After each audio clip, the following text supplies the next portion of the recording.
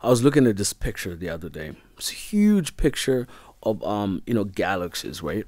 There's like all of these, you know, galaxies and you know, on and and and then there's a little tiny little arrow in the middle of this like crazy big thing with dots. And the arrow and then next to the arrow it says you are here, act like it. And you look at this vastness, you know, and you're like, man, I am I am so insignificant, but I take myself so seriously. You know, as you grow as a human being from being a child to being an adult, I think you're slowly learning what it means to do something for someone else. So stepping outside of yourself. So you're moving from being selfish, all about me and my needs, to all of a sudden needs of somebody else. And and we become more interested about needs of others that we slowly become part of that whole. My name is Emeric Mazibuko. I live in Evanston, Illinois, in the United States. I work for a social service agency. Evanston, for example, has a ton of resources, but sometimes those resources are out of reach for some kids for whatever reason.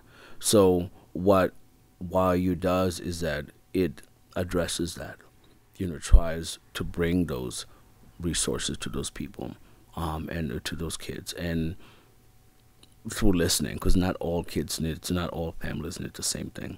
Should I set up the interview with Northwestern? Do it. I'll do no, it. this one's fine. You have nothing to lose. Sure. Absolutely nothing to lose.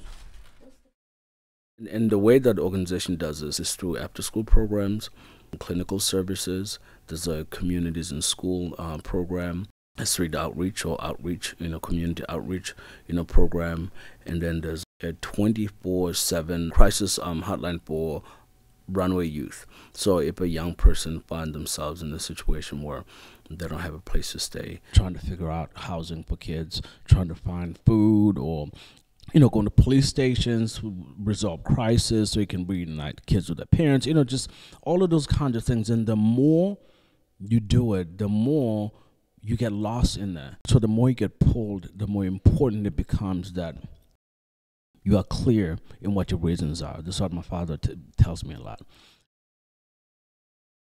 I grew up in South Africa. My father was a Baha'i, uh, became a Baha'i in the 1960s when he was in college. My mother was um, second generation Baha'i.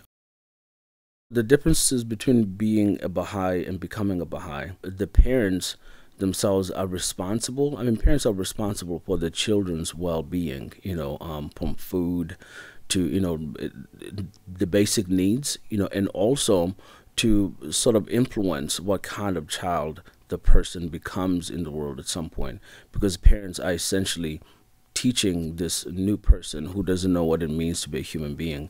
They're teaching them this is how it is to be a human being in this society where we live the um, Baha'i faith in itself, if your parents have that, they use that as sort of like the building blocks, as sort of things for you to then at some point build off of. You then become a Baha'i through personal choice. So my neighborhood, my neighborhood kids, you know, my, my neighborhood friends always knew, yeah, Emeric's a Baha'i. We don't really know what that means they're behind the family. There's these strange people that come around sometimes, and you see like these white people or these Indians or this colored folk way way back in the 80s when it was really bad for people to be in the wrong neighborhood. So people notice. So people always, you know, wherever I live, they always, yeah, they do this thing. It's not bad. It's not viewed as like this negative thing. Actually, it's kind of cool that they can do that. But I don't think people knew that it was a religion you know, so I think that what I bring to the world is a group of people at a specific time in, in sort of like this long line, right, of incredible things that have happened and growth, you know, humans. Like I'm part of this little link at this point, or at least I want to, you know, that is helping shift from one way of thinking um, about the world into another. So, whatever my individual talents are, my contribution is to make sure that I'm also part of that. Because, you know, I used to believe that, you know, change is going to come and it's going to drag you with it. you know, um, whether you want to or not. You know, this this faith is going to reach everybody. So you're either going to join in or it's going to drag you along, but it won't drag you along. You know, change comes, but growth is optional.